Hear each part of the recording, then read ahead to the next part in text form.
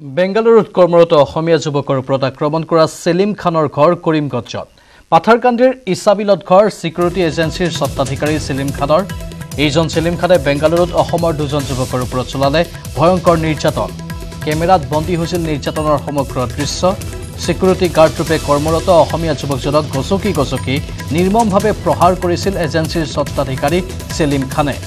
Social মিডিয়াত viral যুৱক দুজনৰ ওপৰত চলা এই নিৰ্মম অত্যাচাৰৰ সমগ্ৰ ভিডিঅ' ইতিমধ্যে আৰক্ষীয়ে চাৰি সহযোগীসহ গ্ৰেপ্তাৰ কৰিছে অভিযুক্ত ছেলিম খানক। বেংগালুৰুত কৰ্মৰত অসমীয়া যুৱকৰ ওপৰত আক্ৰমণ কৰা ছেলিম খানৰ ঘৰ কৰিমগঞ্জত। ইতিমধ্যে তেওঁক গ্ৰেপ্তাৰ কৰা হৈছে পাথাৰকান্দিৰ ইছাবিলত ঘৰ ছিকিউৰিটি এজেঞ্চিৰ স্বত্বাধিকাৰী ছেলিম খানৰ। এইজন ছেলিম খানে বেংগালুৰুত অসমৰ দুজন যুৱকৰ ওপৰত চলালে ভয়ংকৰ নিৰ্যাতন। কেমেৰাত বন্দী হৈছিল নিৰ্যাতনৰ সমগ্ৰ দৃশ্য। ছিকিউৰিটি গাৰ্ডৰূপে কৰ্মৰত অসমীয়া যুৱকজনক গচকি গচকি নিৰ্মমভাৱে প্ৰহাৰ কৰিছিল এজেঞ্চিৰ স্বত্বাধিকাৰী ছেলিম খানে। ছ'চিয়েল মিডিয়াত ভাইৰেল হ'ল যুৱক দুজনৰ ওপৰত চলা এই নিৰ্মম অত্যাচাৰৰ সমগ্ৰ ভিডিঅ'